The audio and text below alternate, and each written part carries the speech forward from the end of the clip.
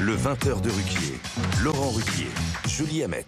Merci de nous avoir rejoints sur BFM TV ou d'être restés. Dans les deux cas, vous êtes les bienvenus. Bienvenue aussi à Antoine Léaumont, député de l'Essonne, France Insoumise. Avec vous, dans un instant, on reviendra évidemment sur le tweet polémique de Jean-Luc Mélenchon à propos de la visite de Mme Yael Braun-Pivet en Israël, la présidente de l'Assemblée nationale. Mais d'abord, euh, quelques informations supplémentaires sur les otages qui seraient deux femmes otages libérées. Voilà, on vient tout juste d'apprendre, c'est un communiqué euh, du Hamas, Thierry Arnaud, qui affirme que deux femmes euh, enlevées lors de l'attaque euh, contre Israël auraient été libérées. C'est n'est hmm. pas encore confirmé dans l'immédiat par les autorités israéliennes. la seule source dont on dispose à ce stade, Julie, comme vous le disiez, c'est ce porte-parole du Hamas hmm. qui dit on a libéré deux femmes otages grâce à l'intermédiation de l'Égypte et du Qatar. Et euh, voilà, pour l'instant, l'identité n'a pas été confirmée. Ça n'a pas été confirmé non plus par les autorités euh, israéliennes. Euh, ce que dit ce porte-parole, c'est que ces deux femmes auraient été libérées pour des raisons humanitaires pressantes. Encore une fois, donc grâce à la médiation du Qatar et de l'Égypte. Et ça intervient bien sûr trois jours après euh, la libération, vous le disiez, de ces, de ces deux premières otages américaines. Alors qu'on entendait beaucoup ces dernières heures qu'il y avait des négociations intenses, des tractations qui en particulier euh, euh, concernaient les binationaux. En tout cas, à ce stade, il ne s'agit pour l'instant que d'une déclaration d'un porte-parole. Mais dans un contexte quand même, meilleur Habib, de la venue d'Emmanuel Macron ces prochaines heures en, Israël. Et euh, c'est évidemment ce que les familles euh, des sept disparus euh, franco-israéliens espèrent, c'est une libération d'otages. La famille des sept disparus franco-israéliens et la famille des 200 otages de toute nationalité. Mm. Je crois qu'il y a une quarantaine. 200 otages en tout. Hein. 212 otages, je crois, pour être exact. Au moins 222, disent les Israéliens ce matin. Donc, qui ne vivent plus, ne vivent plus. la, maman de la jeune française nous racontait, elle était en pleurs. Euh, on l'a rencontrée avec Catherine Colonna euh, en Israël euh, avant que je parte avec Yael Braun-Pivet. La maman de Mia, c'est ça Mia, elle, nous disait, elle, pleurait, elle disait, mais ma fille est belle, qu'est-ce qu'ils lui font? Vous pouvez imaginer, je ne veux pas trop donner, être trop scabreux à l'antenne, c'est terrible. Ils ne vivent pas. Il y a quelqu'un qui a perdu son fils, il a dit Je préfère qu'il soit mort plutôt que de l'avoir entre ses mains de ces barbares. Quand on voit ce qu'ils ont fait, je viens de voir encore une fois la photo de ce père et son fils qui enlacés, qui ont été brûlés. C'était un, bout de sang, mais les, médecins logistes disent Il a essayé de protéger son fils. Ce sont des barbares. Euh, il faut. On va essayer de nous libérer tous les otages, et en particulier évidemment euh, les otages français. C'est important. La visite du président de la République, elle est importante. Il est attendu et par les Français d'Israël et par les Israéliens et par la voix que la France a dans le monde avec le Qatar et avec les pays. Dès que nous avons des informations euh, supplémentaires confirmées, évidemment, on vous les donnera au fur et à mesure. Mais revenons sur le tweet de Jean-Luc Mélenchon et cette polémique avec la présidente de l'Assemblée nationale qui s'est exprimée, elle, ce matin euh, sur France Inter, qui avait l'air très touchée, euh, Julie. Oui, oui. Alors, ce qui s'est passé, c'est qu'il a donc tweeté ce déplacement. C'était en commentaire d'une vidéo, vous allez la voir, qui montrait le rassemblement place de la République pour demander l'arrêt immédiat des opérations militaires contre la bande de Gaza. Voilà ce qu'il écrit, Jean-Luc Mélenchon. Voici la France pendant ce temps, Madame Braun-Pivet campe à Tel Aviv pour encourager le massacre, pas au nom du peuple français. Réaction euh, très choquée de Yael Braun-Pivet, la présidente de l'Assemblée nationale, sur France Inter ce matin. Connaissant un peu Jean-Luc Mélenchon, je suis convaincue qu'effectivement le mot camper n'a pas été choisi par hasard et que le fait que je favorise les massacres, c'est euh, à nouveau euh, une nouvelle cible qu'on me met dans le dos. Enfin, je sais pas. Je, suis désolée, mais euh, je suis, je suis très choquée en fait. Je suis, je suis navrée. Il y a une Brune Pivet visiblement assez bouleversée ce matin sur, sur, sur France Inter. La réaction après cela de, Jean-Luc Mélenchon, évidemment, derrière, on vous donne la parole. Voilà ce qu'il dit. Avec elle, la dégradation de la polémique politique atteint des niveaux jamais vus. Apologiste du soutien inconditionnel au gouvernement d'Israël, elle est revenue sans un mot de compassion pour les populations enfermées à Gaza. Et maintenant, elle attribue au mot camper un contenu antisémite. Cette absurde police des mots est une pitoyable diversion pour détourner l'attention de sa grave faute politique.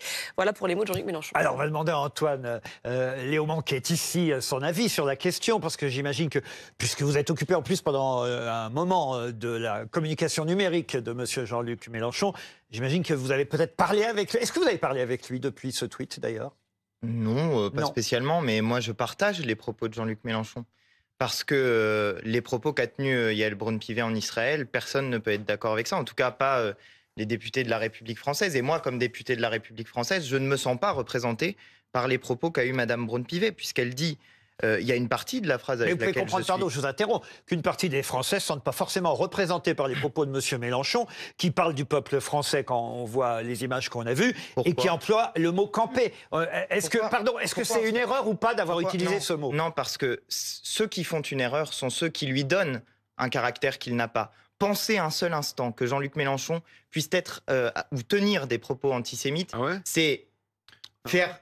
C'est la honte par rapport à la longue histoire Ah. qui est la nôtre. Jean-Luc Mélenchon, je me souviens très bien des propos qu'il avait eus lors de la marche pour Mireille Knoll. Il avait dit Chaque juif de France dans le plus petit village doit savoir qu'il est placé sous la protection de la communauté nationale. Moi, je le connais bien, Jean-Luc Mélenchon, contrairement à Yael Braun-Pivet qui dit le connaître un peu. Moi, je le connais très bien, Jean-Luc Mélenchon. C'est pour ça si que j'avais, si j'avais, si j'avais le moindre doute sur le fait que Jean-Luc Mélenchon aurait la quelque incointance que ce savait avec l'antisémitisme, jamais je ne militerais pour la France insoumise. D'accord? Que Mais ces choses soient bien claires. Pourquoi Non. choisir ce mot alors? Non, parce que, mais parce qu'elle est en train d'aller sur un campement militaire. Elle est aux côtés de Tsahal. Elle est aux côtés d'une armée qui est en, en ce moment en train de commettre des Elle a crimes pas de mis guerre. pied à Tel Aviv, Elle est- elle est en Elle ce pas mis moment- pied à Tel Elle est en ce moment, en, en- au- enfin, elle était aux côtés d'une armée qui commet des crimes de guerre. Et ce que nous disons, nous, c'est que la barbarie du Hamas ne doit pas donner lieu en retour à une forme de barbarie, puisque bombarder des civils, bombarder des enfants, c'est une forme de barbarie. Et je ne suis pas d'accord avec ça. Israël nous, ce que nous demandons, aucun ce que enfant. nous demandons, C'était une fake alors, news du Hamas expliquez-nous, comment ça se fait qu'il y a 2000 enfants qui sont morts. Mais ça, c'est les, chiffres du Hamas. Il y en avait les chiffres 800 à l'hôpital qui étaient morts. Il y en a Comment- eu 15 finalement. comment- comment- Israël ne bon, je ne dis pas Si qu'il n'y aura pas des enfants. des je ne dis pas, hélas, il n'y aura pas des enfants Moi, qui mourront. Ah. Ce, ce sera involontaire. Parce qu'une guerre Donc, est toujours sale. Mais la différence, Voilà, c'est que le, pour Ham- vous, c'est pas grave. le Hamas, C'est toujours grave. Mais une guerre, il n'y a jamais de guerre vous ne le dites pas Pourquoi vous ne le Mais- dites pas comme ça Mais Israël Pourquoi le vous- dit, tout le monde le dit. Pourquoi vous ne dites pas C'est pour ça qu'Israël demande avant de, 5000 avant. Chacun, commencer. chacun son tour. Monsieur Habib, pardon. Monsieur Habib. Oui. monsieur et après on vous la parole à côté Bibi. 1400 morts. Moi, j'ai aucun problème pour dire mon entière, ma totale solidarité avec le peuple israélien qui a été victime de cette attaque barbare. J'ai aucun problème à dire ça. Mais j'ai aucun problème non plus à dire que quand il y Le a Hamas, 5000 c'est une, personnes, une- une organisation 5000 terroriste. Est-ce que le Hamas est une organisation terroriste? 5000 Non, mais Vous pouvez répondre à cette question. de l'autre côté. Est-ce que le Hamas est une organisation terroriste? Alors dites-le. J'y ai- déjà répondu. Non, non, non, j'ai pas entendu. Émission sur LCP. Je vous ai déjà répondu. Non, non, vous n'avez pas Vous savez très bien quelle est notre position. Non, non, mais vous ne dites Si pas. vous qualifiez Vous le ne le Hamas- direz jamais. Précisément, je choisis mes mots. Si vous qualifiez le Hamas d'organisation terroriste, même pas- ensuite, cela justifie le fait qu'on puisse tuer tout le monde sans distinction. Mon Et c'est précisément ce que dit Madame. Braun-Pivet. Elle dit rien ne doit empêcher Israël de se défendre, tout en disant il y a des civils qui vont mourir. Eh bien, nous, ce que nous disons. Mais elle dit aussi quand- il ne faut pas que les des- populations civiles fassent les frais de cette Et guerre. ensuite, elle Ce dit sont les mais. mots d'Yael Et ensuite, elle dit mais. Et ça, c'est pas entendable pour un député de la République française que la présidente de l'Assemblée nationale tienne ce genre de position. Oui, Il n'y a pas la de mais de la phrase, c'est mais le Hamas s'en sert de bouclier humain. Et c'est une Oui, et réalité également. C'est-à-dire qu'on sait très bien que et le ensuite, Hamas il y a encore un mais. utilise les civils palestiniens et les met sur Non, les non. lieux d'où partent les Non, non. roquettes israéliennes Et ensuite, a- et palestiniennes. ensuite- pardon. alors, quelle est la solution que vous proposez? De bombarder tout le monde Non, indistinctement? non, non, la, la solution, en revanche, c'est de reconnaître que le Hamas est une organisation terroriste. Non, ça, je comme d'ailleurs la Ah, France vous n'êtes pas d'accord. Je suis d'accord. Attendez, L'Union européenne le Les masques sont c'est de tombés. C'est de lutter contre les organisations terroristes, Pardon, de monsieur, les éliminer. pardon, monsieur Léaumont, mais ce serait tellement plus facile pour vous, une fois Ah, que vous avez dit ça. Merci de le dire. de- Merci de le dire. Mais oui, pourquoi vous ne le faites pas, Parce que nous ne disons pas nos positions en fonction du dictat médiatique ou politique. Nous disons nos positions en Il fonction n'y a de pas qui est dictat médiatique, il y a un dictat de l'émotion. Il il il on a, eu laissez-moi 30, répondre. 30 de nos compatriotes répondre. Qui, qui ont été je- tués vous voulez bien au, au cours d'une attaque terroriste Et il je y a vous dis deux que ce sont des actes de terreur, des crimes de guerre et des potentiels crimes contre l'humanité qui doivent être jugés comme tels par la Cour pénale internationale. Cour pénale internationale que l'autorité palestinienne reconnaît et qu'Israël ne reconnaît pas. Ouais. Là, moi j'étais hier avec. Mélenchon est un pyromane. Mélenchon n'en est pas à son coup C'est vous qui d'essai. êtes un pyromane Ben quand vous tenez des propos comme Mais ça. attendez, nous nous appelons au lieu- cesser le feu et à la Bon. paix. Alors, on on- cesser le feu et à la ah, paix. Je vais vous laisser pyromane demander après, qu'il y ait plus de. À, à- à Laurent Wauquiez la parole. Deux Soyons- phrases et après on soyons donne la clairs- parole à soyons clairs sur les termes. Quand on entre dans cette logique-là, on entre dans la logique de la guerre des civilisations. Je ne suis pas d'accord parce que je ne suis pas d'accord pour dire qu'une vie palestinienne vaudrait moins qu'une vie israélienne. Personne Et ne dit ça, moi, personne. S'il y a des gens qui disent ça, Personne ne ça dit ça, y compris les Alors Israéliens. dites-le clairement. Bien sûr, je le dis. clairement. Les vies 5 000 palestiniennes morts. et les vies israéliennes 5 000 sont morts du côté palestinien. Ce sont des faux 5 000 chiffres. morts. Ce sont Ce sont des faux chiffres. Faux chiffres. Alors sur qui elles tombent les bombes? Le, le bilan, le bilan Mais est-ce est, que, est- pardon, est-ce non, qu'en sens inverse, vous humain est très grave Mais à bien Gaza. sûr que dans C'est le sens corroboré inverse, par les ONG. les crimes du Hamas. Non, mais est-ce Enfin, qui peut être qu'une vie israélienne vaut une vie palestinienne? Mais bien sûr, qui Bon. peut être d'accord avec le fait que des gens armés aillent tuer des gens dans une fête Personne ne peut être d'accord. Mais imaginez-vous, il y a des gens qui disent vous soutenez le Hamas, vous avez des accointances avec le Hamas. Enfin, c'est un groupe islamiste, on n'a rien à voir avec ça. L'histoire de notre mouvement politique, c'est d'avoir toujours combattu ceux qui cherchent à diviser le peuple, que ce soit pour des raisons de couleur de peau, d'origine ou de religion. Donc nous faire à nous l'insulte de nous dire que nous serions ou antisémites ou complaisants vis-à-vis de l'islamisme, c'est une honte absolue. Mais à Ce que nous sommes- ce vous que nous refusez sommes, de c'est des qualifier une organisation terroriste d'organisation terroriste. je vous ai dit- je vous ai dit, Alors, passez, vous alors m'avez maintenant- dit crime de guerre, crime Alors, contre l'humanité, jugement de la Cour, de la Cour pénale Alors, internationale. alors, on vous a laissé parler, maintenant on laisse parler euh, euh, Monsieur Maillard. Mélenchon d'être un pyromane. Je dis sur votre plateau que Mélenchon est un antisémite. Mélenchon avait dit que son ami dire. Corbyn avait perdu les élections à cause des Juifs. Jamais Mélenchon ça. avait dit à l'époque par rapport à Zemmour, il reproduit des schémas culturels du judaïsme, tout dans la tradition d'enformement en reste entre nous. À propos de Moscovici en 2013, c'est quelqu'un qui ne pense plus en français, qui pense en finance internationale. Et alors, C'est ça, pas dans une- antisémite Ah, euh, Ça, c'est euh, antisémite les, de les dire propos complaintistes à propos des attentats qui surviendraient comme par hasard toujours avant une élection en référence aux, allo- de, de- de- d'Otsaratora où des pas- enfants Vous ont été pas la tués. politique des islamistes. C'est et- eux-mêmes qui le disent, qui veulent faire des attentats avant Il les a rappelé à l'époque que l'antijudaïsme chrétien du 2019. peuple déicide, le juif serait un traître. Je ne sais pas si Ju- Jésus était sur la croix, je sais qu'il y a mis, paraît-il. Ce sont ses propres compatriotes. Ça, c'est pas moi, Écoutez, c'est si, Mélenchon. si vraiment il n'est pas antisémite, alors il est très maladroit quand même, parce que c'est quelqu'un qui maîtrise Vous les mots. que Quand il fait ce tweet, quand il fait ce tweet sur la présidente de l'Assemblée nationale, pardon, il peut quand même réfléchir à utiliser un autre mot, sachant qu'effectivement on va, si euh, euh, il, Non. il est quand même, il est, enfin, Non. il est quand même rodé au débat médiatique et au débat politique. Il sait très bien que Il s'il n'a pas choisit, choisit le mauvais mot, euh, euh, on, on va le lui reprocher, et on va le traiter d'antisémite. Donc s'il le choisit Non, et qu'il l'écrit, c'est qu'il l'assume. Faites-nous le lexique des mots autorisés.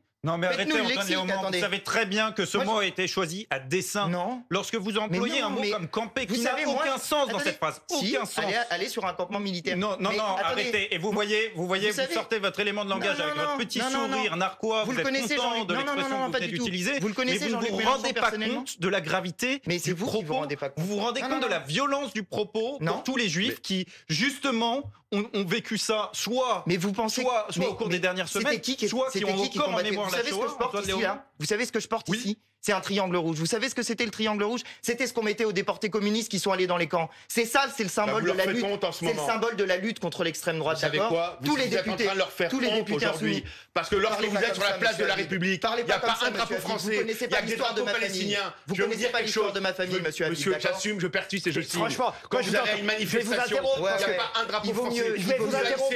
Je vais vous, interrompre parce que ça me désole. Pardon, ça me désole. Moi, je hais les juifs. Je parle aujourd'hui. Pardon Quand je vois Vous- aujourd'hui, vous êtes- je vois aujourd'hui. Monsieur Habib, vous racontez n'importe quoi.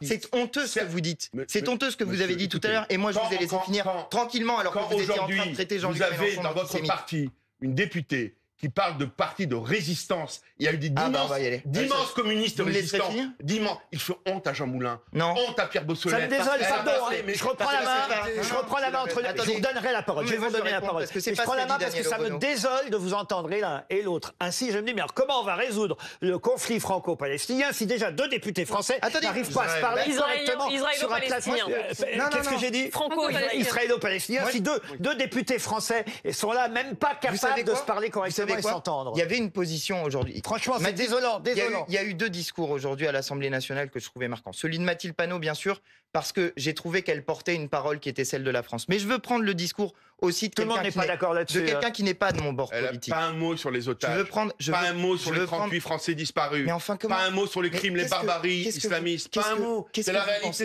Mais pensez- arrêtez un peu. vous n'arrivez pas à appeler le Monsieur Hamas. C'est pas des terroristes, c'est des djihadistes. Alors dites laissé terroristes, vous n'arrivez pas à vous dire. Vous êtes tellement dans votre Je vous ai endoctriné répondu. par votre doctrine répondu. affreuse. Il y a eu d'immenses communistes qui sont répondu. morts avec les juifs. Le combat de ma vie, c'était le combat contre l'extrême droite. Très bien. Et quand Et maintenant vous êtes avec. Et maintenant vous soutenez Netanyahou. Vous êtes avec.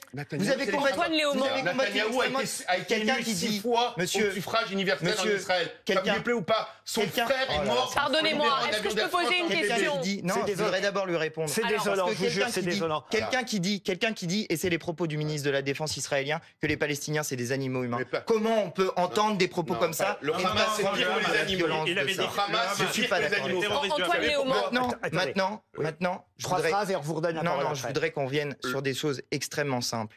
Je vous ai dit tout à l'heure ce que nous sommes. Nous sommes des humanistes. Nous ne pouvons pas tolérer qu'il y ait la quelque différence que ce des soit en raison Ah, de la religion, de la couleur de peau, du genre, de l'orientation sexuelle. Voilà ce que nous sommes intrinsèquement et fondamentalement. Qu'est-ce que vous répondez, s'il vous plaît, à Yael. Braun-Pivet Moi, j'aimerais vous Jean-Luc poser une Mélenchon, question. Je voudrais juste finir sur Ouais. ça. Jean-Luc Mélenchon, il avait utilisé une expression il y a quelque temps quand il était député. Il avait dit Je suis député de la République française et je suis aussi député du peuple humain. Prendre des formules comme ça, c'est dire que nous avons un amour absolu pour l'ensemble de l'humanité, sans différence. C'est un pyromane. C'est vous C'est un qui pyromane, monsieur. C'était quelqu'un Et qui vous ne qui comprend pas les délires. mettre une cible Il a, oublié qu'on a tué. Qu'est-ce que vous 280 répondez alors vous avez, vous avez entendu Yael Braun-Pivet, c'était ce matin sur France Inter, un bouleversée par euh, les mots de, de Jean-Luc Mélenchon. Elle dit qu'elle est déjà la cible de nombreuses attaques antisémites et je, je répète ce qu'elle C'est dit. vrai, c'est Elle accuse Jean-Luc Mélenchon de lui avoir mis une nouvelle cible dans le dos. Euh, Il y a une vraie dimension personnelle. On l'a senti bouleversée. Qu'est-ce que vous lui répondez alors Je- à Yael je- Braun-Pivet Je dis que c'est vrai que Yael Braun-Pivet subit depuis euh, maintenant quelques temps des attaques antisémites et qu'à chaque fois qu'elle en a reçu, elle nous a trouvés à ses côtés pour euh, la soutenir et pour dénoncer ces attaques. Mais- mais les- Je mais- vous dis aussi que- je vous dis aussi amis, que- Ce sont les personnes Non. à qui vous avez manifesté. Monsieur est-ce que vous 5 savez- minutes, alors, vous savez pas. cinq minutes Est-ce que vous savez- vous Attendez, laissez-le répondre, s'il vous plaît. Laissez-le répondre. Nous, les insoumis, nous recevons des menaces de mort régulières, d'accord? À cause de ce genre de propos qui nous lient à des organisations avec lesquelles nous n'avons rien à voir. Nous, nous avons des menaces de mort, là, dans des boucles d'extrême droite, dans lesquelles ils appellent à s'armer pour nous tuer en donnant des adresses. C'est ça qui se produit.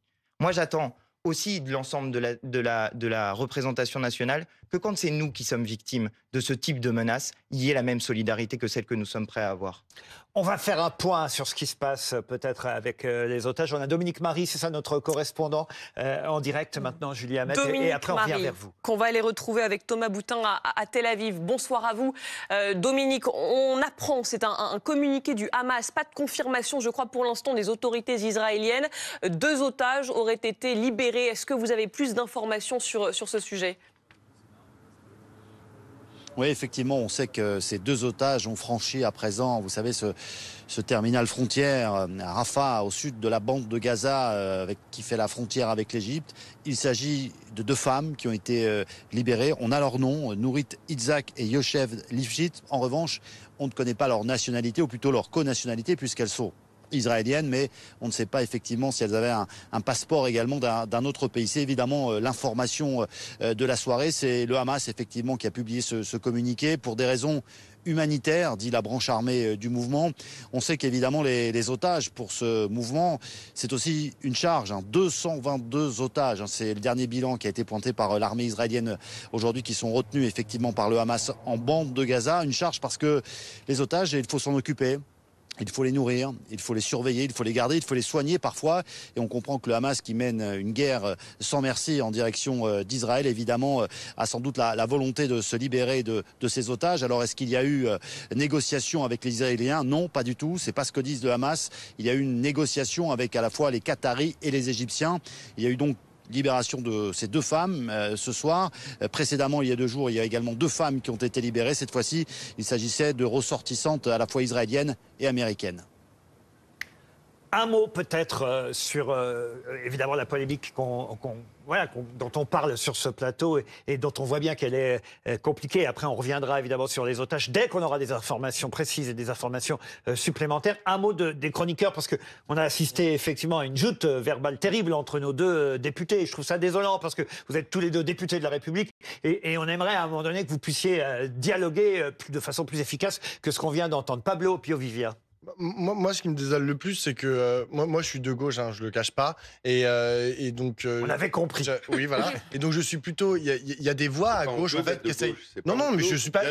non, mais je, je, je, pas la gauche honteuse. Il y a des pas- magnifiques résistants communistes qui ont donné leur vie pour, pour, mais- pour combattre le nazisme. Exactement. Et on Donc, peut moi- pas ne pas penser à eux. Tout à fait. C'est pour ça fait. que j'ai mal quand je vois aujourd'hui comment symbole, ils ont, ils ont troqué la faucille et le marteau pour le verre islamiste. Ça, ça me Mais fait non, mal au cœur. mais Parce ça- que c'est à l'inverse de leurs valeurs. C'est ne l'inverse de leurs pas. valeurs. Là- Ne en fait, Vous voyez, c'est ce genre de, qui nous met une cible sur le dos, justement. Non mais exactement, ça, vous mettez une, exactement une cible sur le dos des insoumis et en plus, vous allez trop loin en fait vous caricaturez complètement leur position. vous aurez vu les massacres, vous aurez compris un Mais non, mais bien sûr, messieurs, je comprends, votre émotion. Je comprends votre émotion. de la République les, les, il y avait les En fait, visages des otages français. Laissez-moi parler, Monsieur Meyer Habib. Ce que je veux dire, c'est que aujourd'hui, la gauche n'est pas capable, en fait, d'être audible, d'avoir un discours de paix qui est audible auprès de, bah, de, de, de- de la France et des Français, et même plus largement à l'international. Et qui tient ce discours de paix? C'est tout à l'heure, Antoine Léaumont a été coupé. euh, il a juste parlé du discours de Mathilde Panot, mais je pense qu'il voulait aussi parler du discours de Jean-Louis Bourlange, euh, qui est le président de la commission. Voilà, je le savais, parce que j'ai aussi entendu Jean-Louis Bourlange.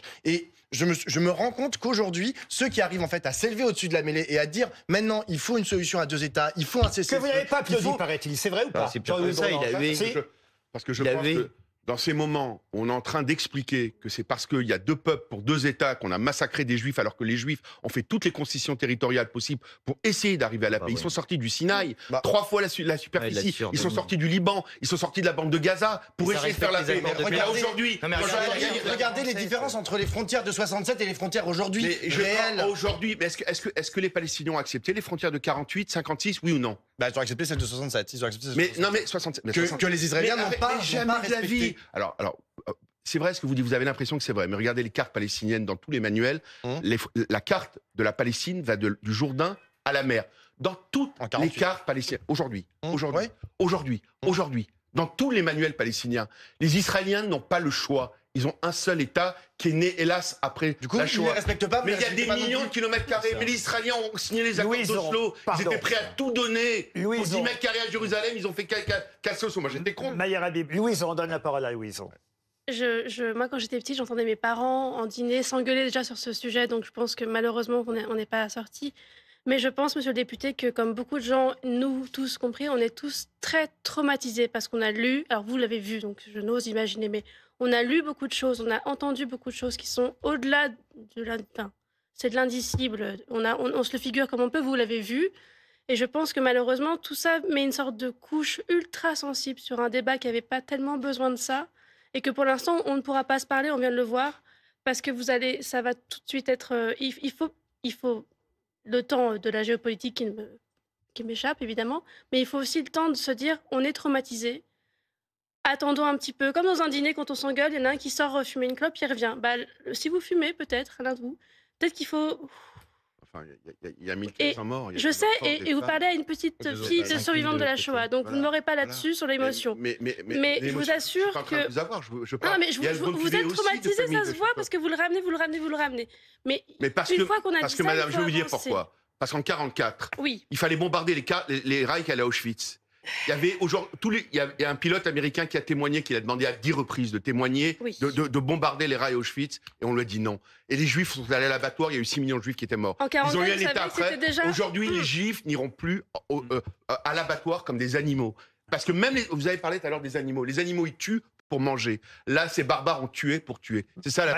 On laisse juste terminer Louison. vous êtes vraiment dans le traumatisme et c'est pas du tout un reproche, c'est un constat. C'est que du coup, ça Oui, vous ramène au traumatisme d'avant. Mais oui, mais ça, du coup, ça vous ramène au traumatisme d'avant qui est celui de la Shoah. Et je comprends.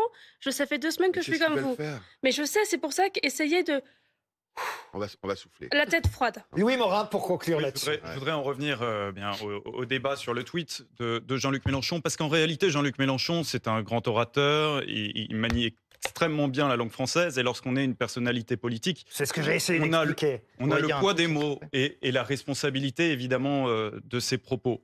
Jean-Luc Mélenchon, ça fait des années, en réalité, qui mène une campagne électorale à viser euh, l'électorat musulman. Non, pas. Il mène, et bien sûr, il il y a une volonté, une stratégie électorale, une stratégie électoraliste, communautaire, dans euh, tout ce que fait Jean-Luc Mélenchon. hein. Et, et c'est non seulement fait à dessein, mais surtout c'est fait avec un certain succès. 77% euh, des musulmans votent, hein, c'est c'est le dernier sondage euh, IFOP en la matière en, en 2022, et sur cet électorat-là, Jean-Luc Mélenchon a recueilli 69%, 69% du vote musulman. C'est considérable. Donc il a là une base électorale à satisfaire. Et lorsqu'il tweet ça, on ne peut pas ne pas mettre ça en relation avec la Quel avec stratégie musulmans? électoraliste de Jean-Luc Mélenchon. Quel rapport avec les musulmans dans son tweet? Jean-Luc Mé- Jean-Luc Mélenchon. Non, mais donnez-moi le rapport avec les musulmans dans le tweet. Cherche à séduire une Et donc, le une, une rapport phase Ce que vous êtes en train de dire, c'est que les musulmans sont antisémites. exactement ça qui est radical. grave. C'est exactement ce que musulman vous êtes en train de dire. radical. Je, je, je vous Non, non, dis mais que 69% Jean-Luc Mélenchon sont des musulmans attise, radicaux. attise la haine Non, non, avec Louis, ça type va de pas. Du tout. Enfin, Et là, d'aller 60%, chercher